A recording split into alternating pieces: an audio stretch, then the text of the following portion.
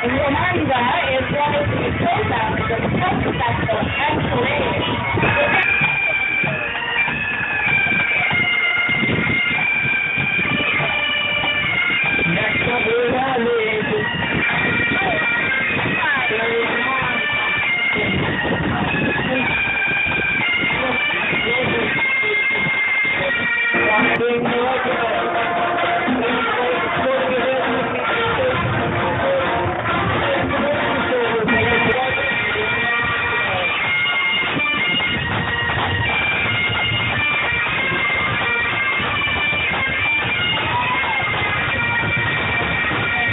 Not St.